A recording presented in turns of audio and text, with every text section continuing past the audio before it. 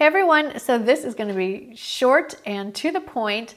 I was going to do a Q&A. I had it all filmed. The lighting wasn't great, terrible hair day, just wasn't feeling it. So I thought I would try something a little different. I haven't done this, I've only done this once before. Instead of uploading my Q&A, I'm gonna do it live on YouTube Live today at one o'clock Central Time. So if you are around at one o'clock Central Time, I would love to have you come back. If you're not available for any reason, there could be many, um, don't worry about it. I will save it and upload it up to YouTube so you can look back on it and watch whenever you feel like it. It may be long.